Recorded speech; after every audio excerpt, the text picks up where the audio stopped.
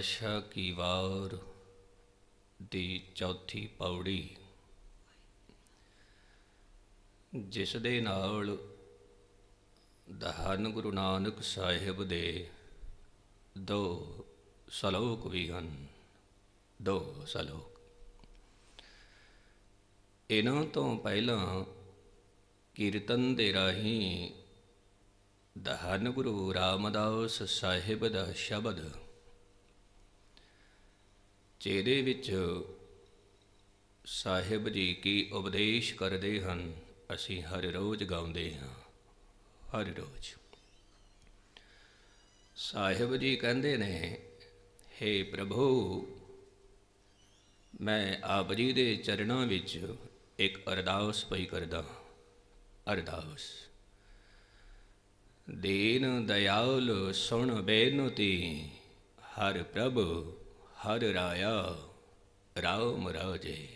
हे ਪ੍ਰਭੂ हे ਮਾਲਿਕ, ਇੱਕ ਅਰਦਾਸ ਆਪ ਜੀ ਦੇ ਚਰਨਾਂ ਵਿੱਚ ਇੱਕ ਦੀਨ ਦੀ, ਇੱਕ ਗਰੀਬ ਦੀ। ਤੇ ਦੀਨ ਬਣ ਕੇ ਅਰਦਾਸ ਕੀ ਕਰਦੇ ਹਨ, ਕੀ ਮੰਗਦੇ ਹਨ, ਕੀ ਮੰਗਦੇ ਨੇ? ਸਾਹਿਬ ਜੀ ਕਹਿੰਦੇ ਨੇ, ਹਾਉ ਮੰਗਉ ਸ਼ਰਨ ਹਰ ਨਾਮ ਕੀ ਹਰ ਹਰ ਮੁਖ ਪਾਇਆ ਮੁਖ ਪਾਇਆ। ਦੀਨ ਹੋ ਕੇ ਮੈਂ ਆਪ ਜੀ ਪਾਸੋਂ ਜੋ ਮੰਗ ਰਿਹਾ ਹਾਂ, ਉਹ ਨਾਮ ਦੀ ਦਾਤ, ਨਾਮ ਦੀ ਦਾਤ। ਮੇਰੇ ਜ਼ੁਬਾਨ 'ਚ ਵੀ ਨਾਮ ਹੋਵੇ, ਮੇਰੇ ਹਿਰਦੇ ਵਿੱਚ ਵੀ ਨਾਮ ਹੋਵੇ, ਮੇਰੇ ਰੋਮ ਰੋਮ ਦੇ ਵਿੱਚ ਨਾਮ ਹੋਵੇ, ਰੋਮ ਰੋਮ ਦੇ ਵਿੱਚ, ਰੋਮ ਰੋਮ ਵਿੱਚ। ਧੰਨ ਗੁਰੂ ਰਾਮਦਾਸ ਸਾਹਿਬ ਜੀ ਨਾਮ ਦੀ ਗੱਲ ਕਰਦੇ ਨੇ। ਇੱਕ ਇਤਿਹਾਸਿਕ ਵਿਚਾਰ ਮੈਂ ਆਪ ਜੀ ਨੂੰ ਅਰਜ਼ ਕਰ ਦਵਾਂ। ਦਹਨ ਗੁਰੂ ਅਮਰਦਾਸ ਸਾਹਿਬ ਦੇ ਦਰਬਾਰ ਵਿੱਚ ਇੱਕ ਸਿੱਖ ਆਉਂਦਾ ਹੈ ਔਰ ਅਰਜ਼ ਕਰਦਾ ਹੈ, ਅਰਜ਼। ਕਹਿੰਦਾ ਹੈ, ਪ੍ਰਭੂ, ਮੇਰੇ ਤੇ ਰਹਿਮਤ ਕਰ, ਮੇਰੀ ਝੋਲੀ ਵਿੱਚ ਨਾਮ ਦੀ ਖੈਰ ਪਾ ਦੇ।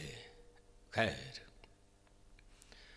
ਧੰਨ ਗੁਰੂ ਅਮਰਦਾਸ ਸਾਹਿਬ ਜੀ ਕਹਿੰਦੇ ਨੇ, ਪੁਰਖ, ਸੰਸਾਰ ਦੇ ਧਨ ਮੰਗ ਲੈ, ਪਦਾਰਥ ਮੰਗ ਲੈ, ਸੰਸਾਰ ਦੀਆਂ ਖੁਸ਼ੀਆਂ ਮੰਗ ਲੈ ਮੰਗ ਲੈ, ਪਰ ਨਾਮ ਨੂੰ ਕੀ ਕਰਨਾ ਹੈ, ਕੀ ਕਰਨਾ ਹੈ?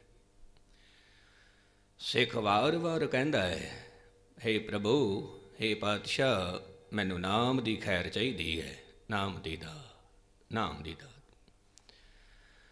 ਸਤਿਗੁਰੂ ਜੀ ਕਹਿੰਦੇ ਨੇ ਚੰਗਾ ਭਾਈ, ਜੇ ਨਾਮ ਦੀ ਤਲਬ ਹੈ, ਤੇ ਫਿਰ ਤੇਰੀ ਝੋਲੀ ਵਿੱਚ ਨਾਮ ਦੀ ਖੈਰ ਪਾ ਦਿੱਤੀ, ਸਿਮਰਨ ਕਰਿਆ ਕਰ, ਸੰਗਤ ਕਰਿਆ ਕਰ। ਤੇ ਉਹ ਮਨੁੱਖ ਸਿਮਰਨ ਕਰਦਾ ਹੈ, ਨਾਮ ਜਪਦਾ ਹੈ, ਦਿਨ ਰਾਤ ਦਿਨ ਰਾਤ।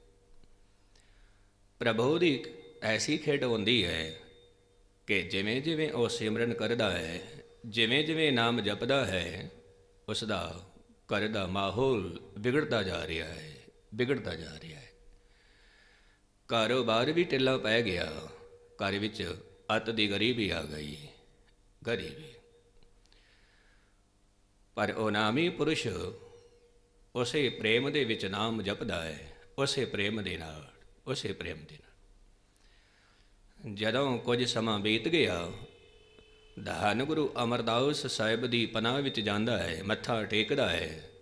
ਤੇ ਸਤਿਗੁਰੂ ਜੀ ਪੁੱਛਦੇ ਹਨ, ਭਈ ਪੁਰਖਾ, ਕੀ ਹਾਲ ਹੈ? ਕੀ ਹਾਲ? ਤੇ ਉਹ ਨਾਮੀ ਪੁਰਸ਼ ਕੀ ਕਹਿੰਦਾ ਹੈ? ਕਹਿੰਦਾ, ਹੈ ਪ੍ਰਭੂ, ਹੈ ਦੀਨ ਬੰਧੂ, ਮੇਰੇ ਜੀਵਨ ਵਿੱਚ ਆਨੰਦ ਹੈ ਆਨੰਦ ਹੈ ਆਨੰਦ ਹੈ। ਸਾਹਿਬ ਜੀ ਕਹਿੰਦੇ ਨੇ, ਧੰਨ ਗੁਰੂ ਅਮਰਦਾਸ ਸਾਹਿਬ ਜੀ ਕਹਿੰਦੇ ਨੇ, ਪੁਰਖਾ ਤੇਰੇ ਘਰ ਵਿੱਚ ਅਤ ਦੀ ਗਰੀਬੀ ਹੈ। ਤੇਰੇ ਘਰ ਦਾ ਮਾਹੌਲ ਵਿਗੜ ਗਿਆ। ਲੇਕਿਨ ਫਿਰ ਵੀ ਤੂੰ ਕਹਿੰਦਾ ਹੈ, ਆਨੰਦ ਹੈ ਆਨੰਦ ਹੈ। ਇਹ ਆਨੰਦ ਕਿਵੇਂ ਆਇਆ? ਤੇ ਸਿੱਖ ਕਹਿੰਦਾ ਹੈ हे ਪ੍ਰਭੂ, ਇਹ ਗੱਲ ਬਿਲਕੁਲ ਠੀਕ ਹੈ। ਘਰ ਦੇ ਵਿੱਚ ਅਤ ਦੀ ਗਰੀਬੀ ਆ ਗਈ। ਰੋਗਾਂ ਨੇ ਘੇਰ ਲਿਆ। ਬਹੁਤ ਸਾਰੇ ਸੰਕਟ ਵੀ ਆ ਗਏ। ਇਹ ਗੱਲ ਬਿਲਕੁਲ ਠੀਕ ਹੈ, ਬਿਲਕੁਲ ਠੀਕ ਹੈ। ਪਰ ਮੈਂ ਆਨੰਦ ਇਸ ਕਰਕੇ ਕਹਿ ਰਿਹਾ ਹਾਂ, ਕਿਉਂਕਿ ਮੇਰੇ ਕੋਲ ਨਾਮ ਦੀ ਦਾਤ ਹੈ, ਨਾਮ ਦੀ ਦਾਤ, ਗੁਰੂ ਦੀ ਦਾਤ ਹੈ, ਤੇ ਜਿਨ੍ਹਾਂ ਦੇ ਕੋਲ ਨਾਮ ਹੈ, ਉਹ ਤਾਂ ਫਿਰ ਆਨੰਦ ਵਿੱਚ ਰਹਿੰਦਾ ਹੈ, ਆਨੰਦ ਵਿੱਚ ਰਹਿੰਦਾ ਹੈ। ਕਿਉਂਕਿ ਧੰਨ ਗੁਰੂ ਗ੍ਰੰਥ ਸਾਹਿਬ ਜੀ ਦੇ ਇਹ ਬੋਲ ਨੇ, ਜਿਨ ਕਹੇ ਪੱਲੇ ਧਨ ਵਸੈ, ਤਿਨ ਕਹ ਨਾਉ ਫਕੀਰ, ਜਿਨ ਕਹੇ ਹਿਰਦੈ ਤੂੰ ਵਸੈ, ਤੇ ਨਰ ਗੁਣੀ ਗਹੀ ਗੁਣੀ ਗਹੀਰ ਧੰਨ ਗੁਰੂ ਅਮਰਦਾਸ ਸਾਹਿਬ ਜੀ ਕਹਿੰਦੇ ਨੇ हे ਪੁਰਖਾ, ਅੱਜ ਤੋਂ ਬਾਅਦ ਆਨੰਦ ਹੀ ਹੋਵੇਗਾ, ਆਨੰਦ ਹੀ ਹੋਵੇਗਾ। ਕਿਉਂਕਿ ਪਰਮਾਤਮਾ ਆਪਣੇ ਨਾਮ ਦੀ ਲਾਜ ਰੱਖਦਾ ਹੈ, ਭਗਤੀ ਦੀ ਲਾਜ ਰੱਖਦਾ ਹੈ, ਲਾਜ ਰੱਖਦਾ ਹੈ। ਤਾਂ ਮੈਂ ਅਰਜ਼ ਕਰ ਰਿਹਾ ਸੀ, ਧੰਨ ਗੁਰੂ ਰਾਮਦਾਸ ਸਾਹਿਬ ਜੀ ਕਹਿੰਦੇ ਨੇ हे ਪ੍ਰਭੂ ਮੇਰੀ ਝੋਲੀ ਵਿੱਚ ਨਾਮ ਦੀ ਖੈਰ ਪਾ ਦੇ, ਨਾਮ ਦੀ ਖੈਰ। ਦੇਨ ਦਇਆਲ ਸੁਣ ਬੇਨਤੀ, ਹਰ ਪ੍ਰਭ ਹਰ ਰਾਇਆ RAM ਰਾਜੈ। ਹਾਉ ਮੰਗੋ ਸ਼ਰਨ ਹਰ ਨਾਮ ਕੀ, ਹਰ ਹਰ ਮੁਖ ਪਾਇਆ, ਮੈਂ ਦਿਨ ਰਾਤ ਆਪਣੀ ਰਸਨਾ ਦੇ ਨਾਲ ਨਾਮ ਜਪਦਾ ਰਵਾਂ ਜਪਦਾ ਰਵਾਂ ਜਪਦਾ ਰਵਾਂ। ਕਿਉਂਕਿ ਪਰਮਾਤਮਾ ਦਾ ਜੋ ਬਿਰਧ ਹੈ, ਭਗਤ ਵਛਲ ਹਰ ਬਿਰਧ ਹੈ ਹਰਿ ਲਾਜ ਰਖਾਇਆ, ਲਾਜ। ਪਰਮਾਤਮਾ ਭਗਤੀ ਨੂੰ ਬਹੁਤ ਪ੍ਰੇਮ ਕਰਦਾ ਹੈ ਤੇ ਭਗਤ ਨੂੰ ਵੀ ਪ੍ਰੇਮ ਕਰਦਾ ਹੈ। ਪਰਮਾਤਮਾ ਨਾਮ ਨੂੰ ਬਹੁਤ ਪ੍ਰੇਮ ਕਰਦਾ ਹੈ ਤੇ ਨਾਮੀ ਨੂੰ ਵੀ ਪ੍ਰੇਮ ਕਰਦਾ ਹੈ, ਜਿਹੜਾ ਨਾਮ ਜਪਦਾ ਹੈ, ਉਹਨੂੰ ਵੀ ਪ੍ਰੇਮ ਕਰਦਾ ਹੈ, ਉਹਨੂੰ ਵੀ। ਜਨ ਨਾਨਕ ਸ਼ਰਨਾਗਤੀ ਹਰਿ ਨਾਮ ਤਰਾਇਆ ਨਾਮ ਤਰਾਇਆ। ਸੰਸਾਰ ਇੱਕ ਐਸਾ ਭਾਵਜਲ ਹੈ ਐਸਾ ਭਾਵਜਲ ਕਿ ਇਸ ਭਾਵਜਲ ਦੇ ਵਿੱਚ ਵਾਰ-ਵਾਰ ਡੁੱਬਦੇ ਰਹਿੰਦੇ ਨੇ ਮਨੁੱਖ। ਵਾਰ-ਵਾਰ ਵਾਰ-ਵਾਰ ਕਦੇ ਕ੍ਰੋਧ ਰੂਪੀ ਲਹਿਰ ਨੇ ਡੁਬੋ ਦਿੱਤਾ ਤੇ ਕਦੇ ਹੰਕਾਰ ਰੂਪੀ ਲਹਿਰ ਨੇ, ਕਦੇ ਲੋਭ ਰੂਪੀ ਲਹਿਰ ਨੇ, ਕਦੇ ਮੋਹ ਦੀ ਲਹਿਰ ਨੇ। ਔਰ ਇਸੇ ਤਰ੍ਹਾਂ ਮਨੁੱਖ ਜਨਮ ਔਰ ਮਰਨ ਦੇ ਚੱਕਰ ਵਿੱਚ ਪਈ ਰਹਿੰਦਾ ਹੈ, ਪਈ ਰਹਿੰਦਾ ਹੈ। ਨਾਮ ਚਾਹੀਦਾ ਹੈ, ਨਾਮ। ਹੁਣ ਧੰਨ ਗੁਰੂ ਨਾਨਕ ਸਾਹਿਬ ਦੇ ਬੋਲਣੇ ਸਲੋਕ ਮਹਿਲਾ ਪਹਿਲਾ। ਬਹਿ ਵਿੱਚ ਪਵਨ ਵਹਿ ਸਦਵਾਓ ਭੈ ਵਿੱਚ ਚੱਲੈ ਲਖ ਦਰਿਆਓ ਬਹਿ ਵਿੱਚ ਅਗਨ ਕਢੇ ਵਿਗਾਰ ਭੈ ਵਿੱਚ ਧਰਤੀ ਦਬੀ ਭਾਰ ਭੈ ਵਿੱਚ ਇੰਦ ਫਿਰੈ ਸ਼ਿਰਭਾਰ ਭੈ ਵਿੱਚ ਰਾਜਾ ਧਰਮ ਦੁਆਰ। ਭੈ ਵਿੱਚ ਸੂਰਜ ਭੈ ਵਿੱਚ ਚੰਦ, ਕਹੋ ਕਰੋੜੀ ਚਲਤ ਨ ਅੰਤ। ਭੈ ਵਿੱਚ ਸਿੱਧ ਬੁੱਧ ਸੁਰਨਾਥ, ਭੈ ਵਿੱਚ ਆਡਾਣੇ ਆਕਾਸ਼, ਭੈ ਵਿੱਚ ਜੋਧ ਮਹਾਬਲ ਸੂਰ, ਭੈ ਵਿੱਚ ਆਵੇਂ ਜਾਵੇਂ ਪੂਰ ਸਗਲੀਆਂ ਭਾਉ ਲਿਖਿਆ ਸ਼ਿਰ ਲੇਖ, ਨਾਨਕ ਨਿਰਭਉ ਨਿਰੰਕਾਰ, ਸਚ ਏਕ ਸਚ ਏਕ। ਗੁਰੂ ਨਾਨਕ ਸਾਹਿਬ ਦਾ ਇੱਕ ਇੱਕ ਬੋਲ ਕੀਮਤੀ ਹੈ, ਇੱਕ ਇੱਕ ਬੋਲ। ਵੇਦ ਬਚਨ ਹੈ, ਗਿਆਨ ਇੱਕ ਇੱਕ ਬੋਲ। ਇੱਕ ਇੱਕ ਬੋਲ ਕੀਮਤੀ ਹੈ। ਸਾਹਿਬ ਜੀ ਕਹਿੰਦੇ ਨੇ, ਭੈ ਵਿੱਚ ਪਵਨ ਵਹਿ ਸਦਵਾਓ ਸਦਵਾਓ ਹੁਣ ਹਵਾ ਹੈ। ਹਵਾ ਪਰਮਾਤਮਾ ਦੇ ਡਰ ਵਿੱਚ ਹੈ, ਡਰ ਵਿੱਚ ਹੈ। ਜਿਸ ਨੂੰ ਡਰ ਕਹਿੰਦੇ ਨੇ, ਭੈ ਕਹਿੰਦੇ ਨੇ, ਨਿਯਮ ਕਹਿੰਦੇ ਨੇ, ਧਰਮ ਕਹਿੰਦੇ ਨੇ, ਧਰਮ।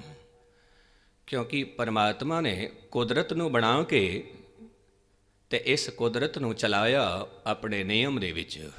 ਔਰ ਉਸੇ ਨਿਯਮ ਨੂੰ ਕਾਨੂੰਨ ਵੀ ਕਹਿੰਦੇ ਨੇ, ਉਸ ਨਿਯਮ ਨੂੰ ਧਰਮ ਵੀ ਕਹਿੰਦੇ ਨੇ। ਧਰਮ ਧਰਮ।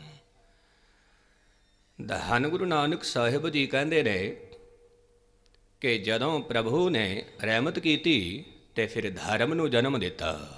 ਧਰਮ ਨੂੰ, ਦੌਲ, ਧਰਮ, ਦਇਆ ਕਾ ਪੂਤ। ਸੰਤੋਖ ਥਾਪ ਰਖਿਆ ਜਿਨ ਸੋਤ ਜਿਨ ਸੋਤ। ਪੂਰੀ ਦੀ ਪੂਰੀ ਕਾਇਨਾਤ ਕੁਦਰਤ ਇਸ ਨਿਯਮ ਦੇ ਵਿੱਚ ਬੱਝੀ ਹੋਈ ਹੈ, ਨਿਯਮ ਦੇ ਵਿੱਚ। ਹੁਣ ਆਪ ਜੀ ਨੇ ਬਹੁਤ ਵਾਰ ਦੇਖਿਆ, ਹਰ ਰੋਜ਼ ਦੇਖਦੇ ਹੋ, ਨਿਯਮ ਦੇ ਮੁਤਾਬਿਕ ਦਿਨ ਹੋਇਆ, ਨਿਯਮ ਦੇ ਮੁਤਾਬਿਕ ਰਾਤ ਹੋ ਗਈ। ਨਿਯਮ ਦੇ ਮੁਤਾਬਿਕ ਸਮਾਂ ਬਦਲ ਗਿਆ, ਸਰਦੀ ਤੋਂ ਗਰਮੀ, ਨਿਯਮ ਨਿਯਮ। ਹੁਣ ਇਸ ਨਿਯਮ ਨੂੰ ਕੌਣ ਚਲਾ ਰਿਹਾ ਹੈ? ਇੱਕ ਓੰਕਾਰ ਇੱਕ ਓੰਕਾਰ।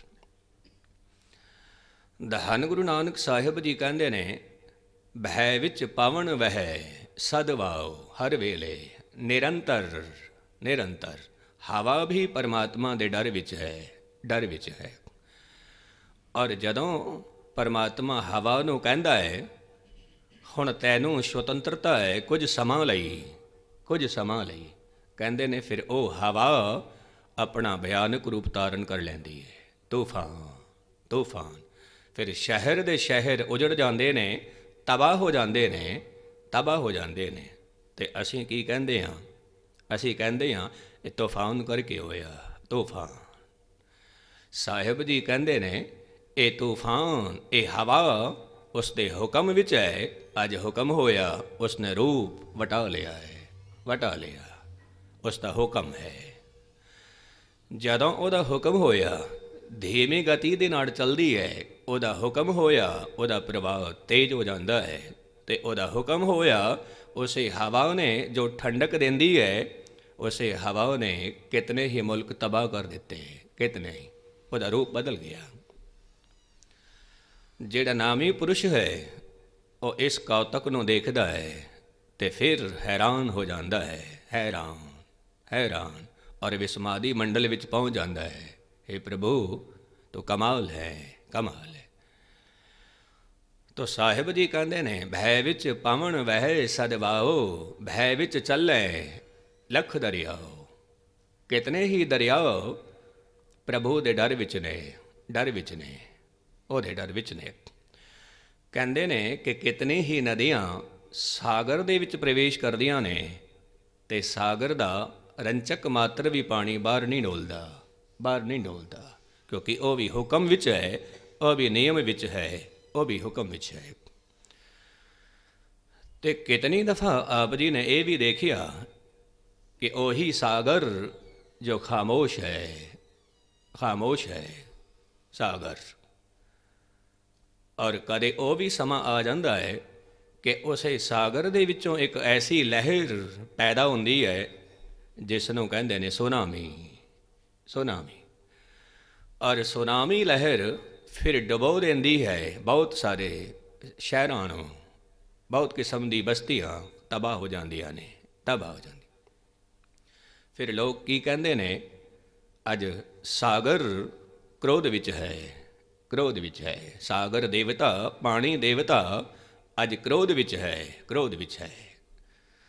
ਤੇ ਕੁਝ ਮੁਲਕ ਤਾਂ ਐਸੇ ਵੀ ਨੇ ਕਿ ਜਿੱਥੋਂ ਦੇ ਲੋਕ ਸਾਗਰ ਦੀ ਪੂਜਾ ਕਰਦੇ ਨੇ, ਸਾਗਰ ਦੀ ਪੂਜਾ ਕਰਦੇ ਨੇ। ਕਹਿੰਦੇ ਨੇ ਕਿ ਇਸੇ ਦੇ ਵਿੱਚੋਂ ਸਾਨੂੰ ਰੋਜ਼ਗਾਰ ਮਿਲਦਾ ਹੈ ਔਰ ਜਿਵੇਂ ਜਿਵੇਂ ਅਸੀਂ ਪੂਜਾ ਕਰਦੇ ਹਾਂ ਤੇ ਪੂਜਾ ਦੇ ਸਦਕੇ ਇਹਦੀ ਖਾਮੋਸ਼ੀ ਸਾਡੇ ਲਈ ਜੀਵਨਦਾਇਕ ਹੈ, ਜੀਵਨਦਾਇਕ।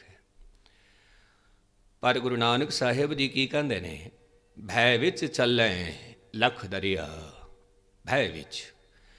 ਜੇਕਰ ਸਾਗਰ ਖਾਮੋਸ਼ ਹੈ, ਉਹਦੇ ਡਰ ਵਿੱਚ ਹੈ, ਤੇ ਜੇਕਰ ਸਾਗਰ ਅੱਜ ਸੁਨਾਮੀ ਦੇ ਰੂਪ ਵਿੱਚ ਹੈ, ਤਾਂ ਵੀ ਉਹਦੇ ਹੀ ਡਰ ਵਿੱਚ ਹੈ, ਉਸੇ ਦਾ ਹੁਕਮ ਹੈ, ਉਸੇ ਦਾ ਹੁਕਮ ਹੈ।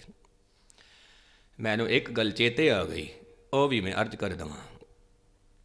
ਕੁਝ ਲੋਕ ਸ਼ੇਖ ਫਰੀਦ ਦੇ ਕੋਲ ਆਉਂਦੇ ਨੇ ਔਰ ਆ ਕੇ ਕਹਿੰਦੇ ਨੇ, ਮਹਾਰਾਜ, ਇੱਕ ਦਰਿਆ ਜੋ ਆਪਣੇ ਕਰੀਬ ਹੈ ਕਰੀਬ ਹੈ, ਸਿੰਧੂ ਦਰਿਆ। ਇਹ ਇਤਨੇ ਸ਼ਿਖਰ ਤੇ ਹੈ, ਇਤਨੇ ਸ਼ਿਖਰ ਤੇ। ਜੇਕਰ ਇਹਦਾ ਪ੍ਰਭਾਵ ਖਤਮ ਨਹੀਂ ਹੋਇਆ ਇਸ ਨੇ ਡਬੋ ਦੇਣਾ ਸਭ ਕੁਝ ਤਬਾਹ ਕਰ ਦੇਣਾ। ਔਰ ਜਿੱਥੇ ਸ਼ਹਿਰ ਤਬਾਹ ਹੋਣਗੇ, ਆਪ ਜੀ ਦਾ ਆਸ਼ਰਮ ਵੀ ਤਬਾਹ ਹੋ ਜਾਏਗਾ, ਤਬਾਹ ਹੋ ਜਾਏਗਾ। ਤੇ ਫਰੀਦ ਜੀ ਨੂੰ ਕਹਿੰਦੇ ਨੇ, ਤੁਸੀਂ ਕਿਰਪਾ ਕਰੋ ਤੇ ਦਰਿਆ ਦੇ ਕੰਢੇ ਚੱਲ ਕੇ ਤੇ ਉਸ ਨੂੰ ਹੁਕਮ ਕਰੋ ਕਿਉਂਕਿ ਤੂੰ ਅੱਲਾਹ ਦਾ ਸੇਵਕ ਹੈ, ਪਰਮਾਤਮਾ ਦਾ ਭਗਤ ਹੈ। ਕਹਿੰਦੇ ਨੇ ਕਿ ਸ਼ੇਖ ਫਰੀਦ ਜੀ ਜਾਂਦੇ ਨੇ ਤੇ ਕਹਿੰਦੇ ਨੇ, ਦਰਿਆ ਨੂੰ ਤੂੰ ਸ਼ਾਂਤ ਹੋ ਜਾ, ਸ਼ਾਂਤ ਹੋ ਜਾ। ਜੇਕਰ ਤੂੰ ਸ਼ਾਂਤ ਨਹੀਂ ਹੋਇਆ ਔਰ ਜੇਕਰ ਕੋਈ ਮੁਲਕ ਤਬਾਹ ਹੋ ਗਿਆ, ਸ਼ਹਿਰ ਤਬਾਹ ਹੋ ਗਿਆ, ਤਾਂ ਤੈਨੂੰ ਵੀ ਲੇਖਾ ਦੇਣਾ ਪਏਗਾ। ਲੇਖਾ ਦੇਣਾ ਪਏਗਾ। ਕਹਿੰਦੇ ਨੇ ਕਿ ਫਰੀਦ ਜੀ ਜਿਵੇਂ ਜਿਵੇਂ ਕਹਿੰਦੇ ਨੇ ਕਿ ਤੈਨੂੰ ਵੀ ਲੇਖਾ ਦੇਣਾ ਪਏਗਾ, ਤਾਂ ਦਰਿਆ ਹੋਰ ਸ਼ਿਖਰ ਤੇ ਪਹੁੰਚਦਾ ਹੈ ਹੋਰ ਸ਼ਿਖਰ ਤੇ। ਹੋਰ ਜਵਾਨੀ ਵਿੱਚ ਆਉਂਦਾ ਹੈ ਪਰ ਘਟਦਾ ਨਹੀਂ ਘਟਦਾ ਨਹੀਂ।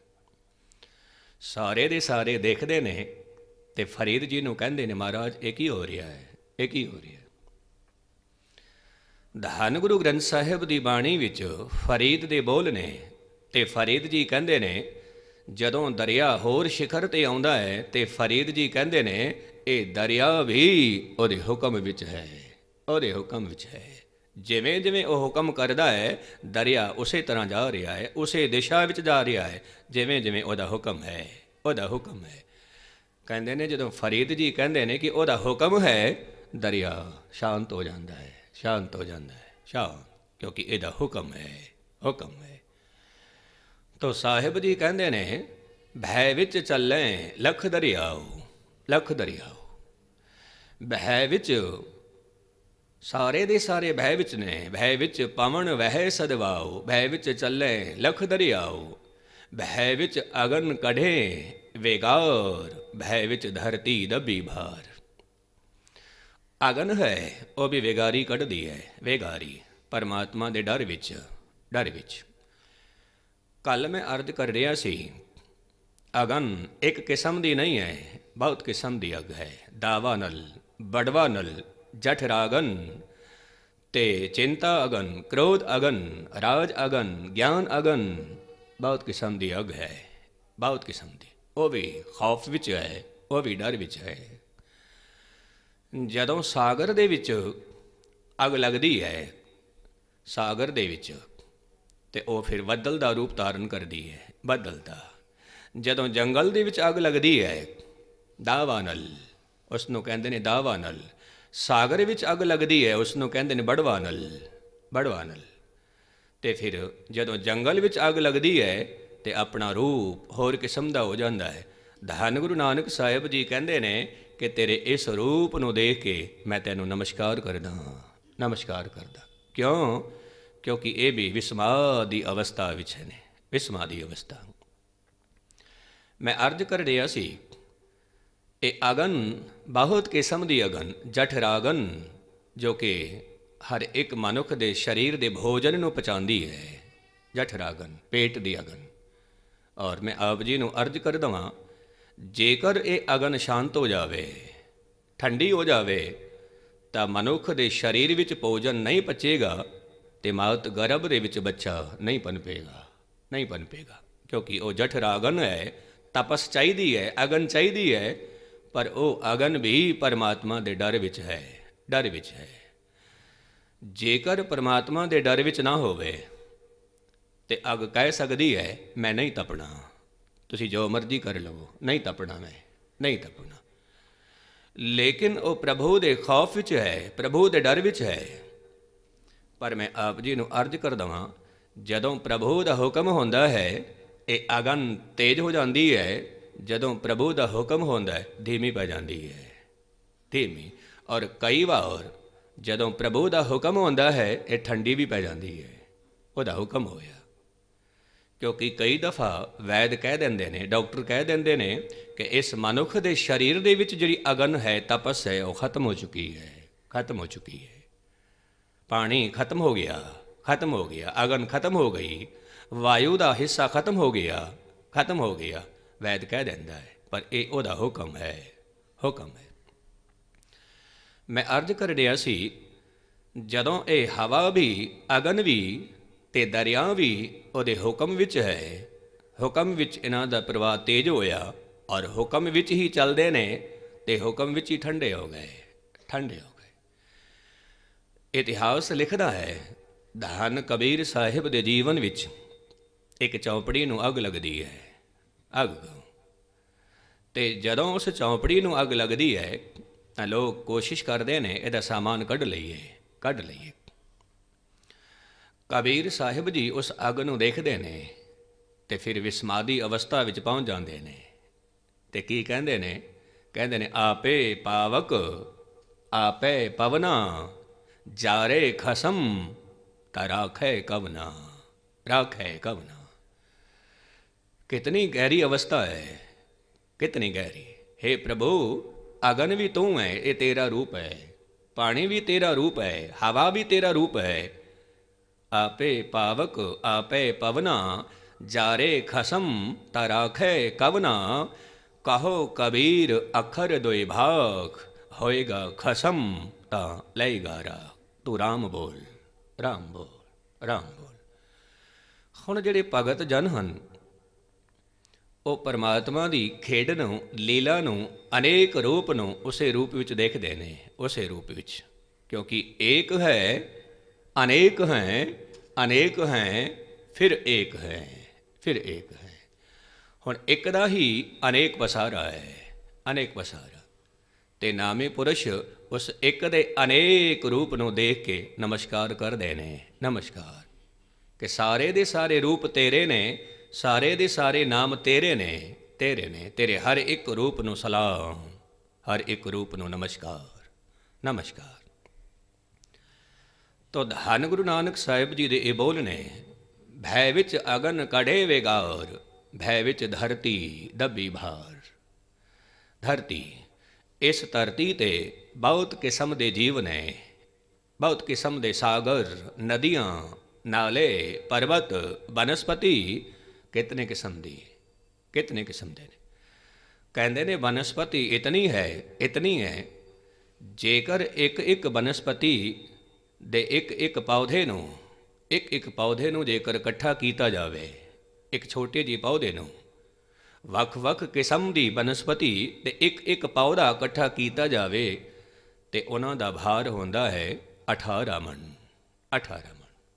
ਜੇ ਇੱਕ ਇੱਕ ਪੌਦੇ ਨੂੰ ਲਿਆ ਜਾਵੇ, ਹਰ ਇੱਕ ਬਨਸਪਤੀ ਦਾ, ਇੱਕ ਪੌਦਾ ਛੋਟਾ ਜਿਹਾ 18 ਮਨ 18 ਕਿਤਨੀ ਵਿਸ਼ਾਲ ਬਨਸਪਤੀ ਹੈ ਤੇ ਕਿਤਨੇ ਦਰਖਤ ਨੇ, ਕਿਤਨੇ ਸਾਗਰ ਨੇ, ਕਿਤਨੇ ਪਰਬਤ ਨੇ, ਕਿਤਨੀ ਨਦੀਆਂ ਨੇ, ਕਿਤਨੇ ਨਾਲੇ ਨੇ, ਫਿਰ ਅੰਡਜ, ਜੇਰਜ, ਸੇਤਜ, ਉਤਭਜ, ਕਿਤਨੇ ਜੀਵ ਨੇ, ਕਿਤਨੇ ਜੀਵ। ਤੇ ਫਿਰ ਇਹਨਾਂ ਸਾਰਿਆਂ ਦਾ ਬੋਝ ਇਸ ਧਰਤੀ ਤੇ, ਇਸ ਧਰਤੀ ਤੇ, ਇਸ ਧਰਤੀ ਤੇ। ਸਾਹਿਬ ਜੀ ਕਹਿੰਦੇ ਨੇ, ਜੇਕਰ ਇਹ ਧਰਤੀ ਪ੍ਰਭੂ ਦੇ ਡਰ ਵਿੱਚ ਨਾ ਹੋਵੇ, ਤੇ ਡੋਲ ਸਕਦੀ ਹੈ, ਡੋਲ ਸਕਦੀ ਹੈ। ਔਰ ਕਿਤਨੀ ਦਫਾ ਡੋਲਦੀ ਵੀ ਹੈ, ਡੋਲਦੀ ਵੀ ਹੈ। ਜਦੋਂ ਧਰਤੀ ਡੋਲਦੀ ਹੈ, ਵਿਗਿਆਨ ਆਪਣੀ ਬੁੱਧੀ ਦੇ ਮੁਤਾਬਿਕ ਗੱਲ ਕਰਦਾ ਹੈ ਤੇ ਸੰਤ ਆਪਣੀ ਬੁੱਧੀ ਦੇ ਮੁਤਾਬਿਕ। ਦੋਵਾਂ ਦੀ ਬੁੱਧੀ ਵੱਖਰੀ ਹੈ ਵੱਖਰੀ ਹੈ। ਕਿਉਂਕਿ ਵਿਗਿਆਨ ਬੁੱਧੀ ਤੇ ਆਪਣੀ ਗੱਲ ਕਹਿ ਦਿੰਦਾ ਹੈ ਤੇ ਸੰਤ ਆਪਣੀ ਆਤਮਾ ਦੇ ਨਾਲ ਗੱਲ ਕਹਿ ਦਿੰਦਾ ਹੈ, ਆਤਮਾ ਦੇ ਨਾਲ। ਵਿਗਿਆਨ ਆਪਣੀ ਕਸੌਟੀ ਤੇ ਕੱਸਦਾ ਹੈ, ਬੁੱਧੀ ਦੀ ਕਸੌਟੀ ਤੇ ਤੇ ਭਗਤ ਆਤਮਾ ਦੀ ਕਸੌਟੀ ਤੇ ਕੱਸਦਾ ਹੈ, ਆਤਮਾ ਦੀ ਕਸੌਟੀ। ਵਿਗਿਆਨ ਕਹਿੰਦਾ ਹੈ, ਜ਼ਲਜ਼ਲਾ ਇਸ ਕਰਕੇ ਆਇਆ, ਭੂਕੰਪ ਇਸ ਕਰਕੇ ਆਇਆ ਕਿਉਂਕਿ ਧਰਤੀ ਦੇ ਨੀਚੇ ਕੁਝ ਪਲੇਟਸ ਉਹ ਖਿਸਕ ਗਈ, ਖਿਸਕ ਗਈਆਂ ਨੇ। ਇਹ ਵਿਗਿਆਨ ਕਹਿੰਦਾ ਹੈ, ਇਹ ਭੂ ਸ਼ਾਸਤਰੀ ਕਹਿੰਦੇ ਨੇ, ਪਰ ਸੰਤ ਕੀ ਕਹਿੰਦਾ ਹੈ ਕਿ ਧਰਤੀ ਇਸ ਕਰਕੇ ਡੋਲ ਰਹੀ ਹੈ ਕਿਉਂਕਿ ਅਕਰਤ ਗਣ ਬਹੁਤ ਹੋ ਗਏ ਨੇ ਬਹੁਤ ਹੋ ਗਏ ਨੇ ਪਾਪੀ ਬਹੁਤ ਹੋ ਗਏ ਨੇ ਅਧਰਮੀ ਬਹੁਤ ਹੋ ਗਏ ਨੇ ਧਰਤੀ ਉਹਨਾਂ ਕਰਕੇ ਡੋਲਦੀ ਹੈ ਉਹਨਾਂ ਕਰਕੇ ਪ੍ਰਭੂ ਦਾ ਹੁਕਮ ਹੋਇਆ ਧਰਤੀ ਡੋਲ ਰਹੀ ਹੈ ਡੋਲ ਰਹੀ ਹੈ ਭਾਈ ਗੁਰਦਾਸ ਵੀ ਕਹਿੰਦੇ ਨੇ ਕਹਿੰਦੇ ਨੇ ਇਸ ਧਰਤੀ ਤੇ ਨਾ ਪਰਬਤਾਂ ਦਾ ਬੋਝ ਹੈ ਨਾ ਸਾਗਰਾਂ ਦਾ ਨਾ ਅੰਡਜ ਜੇਰਜ ਸੇਤਜ ਉਤਬੁਜ ਦਾ ਇਹਨਾਂ ਦਾ ਬੋਝ ਨਹੀਂ ਹੈ ਧਰਤੀ ਤੇ ਬੋਝ ਹੈ ਤਾਂ ਉਹਨਾਂ ਦਾ ਜਿਹੜੇ ਨਾ ਸ਼ੁਕਰ ਲੋਕ ਨੇ, ਜਿਹੜੇ ਧੰਨਵਾਦ ਨਹੀਂ ਕਰਦੇ, ਉਹਨਾਂ ਦਾ ਬੋਝ। ਜਿਹੜੇ ਮਨਮੁਖ ਹਨ, ਉਹਨਾਂ ਦਾ ਬੋਝ। ਜਿਹੜੇ ਆਕ੍ਰਿਤ ਗਣ ਹਨ, ਉਹਨਾਂ ਦਾ ਬੋਝ। ਉਹਨਾਂ ਦਾ ਬੋਝ। ਤੋ ਧੰਨ ਗੁਰੂ ਨਾਨਕ ਸਾਹਿਬ ਜੀ ਕਹਿੰਦੇ ਨੇ, ਭੈ ਵਿੱਚ ਧਰਤੀ ਦੱਬੀ ਭਾਰ। ਧਰਤੀ ਵੀ ਪ੍ਰਭੂ ਦੇ ਡਰ ਵਿੱਚ ਹੈ। ਜਦੋਂ ਉਹਦਾ ਹੁਕਮ ਹੋਇਆ, ਡੋਲਦੀ ਹੈ। ਉਹਦਾ ਹੁਕਮ ਹੈ, ਥਿਰ ਹੈ ਥਿਰ ਹੈ। ਉਹਦੇ ਹੁਕਮ ਵਿੱਚ ਹੈ, ਹੁਕਮ ਵਿੱਚ। ਭੈ ਵਿੱਚ ਇੰਦ ਫਿਰੈ ਸ਼ਿਰਭਾਰ ਭੈ ਵਿੱਚ ਰਾਜਾ ਧਰਮ ਦੁਆਰ। ਇੰਦਰ ਦੇਵਤਾ ਬੱਦਲ। ਕਹਿੰਦੇ ਨੇ ਕਿ ਇੰਦਰ ਦੇਵਤਾ ਆਪਣੇ ਸਿਰ ਤੇ ਬਦਲਾਂ ਦਾ ਬੋਝ ਲੈ ਕੇ ਘੁੰਮ ਰਿਹਾ ਹੈ। ਭੈ ਵਿੱਚ ਇੰਦ ਫਿਰੈ ਸ਼ਿਰਭਾਰ ਬਦਲਾਂ ਦਾ ਭਾਰ। ਉਹ ਵੀ ਹੁਕਮ ਵਿੱਚ ਹੈ। ਹੁਕਮ ਵਿੱਚ। ਕਿਤਨੀ ਦਫਾ ਲੋਕ ਕੀ ਕਰਦੇ ਨੇ? ਜੇਕਰ ਬਰਸਾਤ ਨਹੀਂ ਹੋਈ ਤੇ ਇੰਦਰ ਦੀ ਪੂਜਾ ਕਰਦੇ ਨੇ। ਜੇਕਰ ਬਰਸਾਤ ਬਹੁਤੀ ਹੈ, ਤਾਂ ਵੀ ਇੰਦਰ ਦੀ ਪੂਜਾ। ਕਹਿੰਦੇ ਨੇ हे ਇੰਦਰ, ਇਤਨੀ ਕਿਰਪਾ ਕਰ, ਬਰਸਾਤ ਖਤਮ ਕਰ ਦੇ, ਖਤਮ ਕਰ ਦੇ। ਕਈ ਦਫਾ ਕਹਿੰਦੇ ਨੇ ਲੋਕ, ਤੇ ਇੰਦਰ ਦੀ ਪੂਜਾ ਕਰਦੇ ਨੇ, ਇੰਦਰ ਦੀ। ਧੰਨ ਗੁਰੂ ਨਾਨਕ ਸਾਹਿਬ ਜੀ ਕਹਿੰਦੇ ਨੇ, ਇੰਦਰ ਦੇ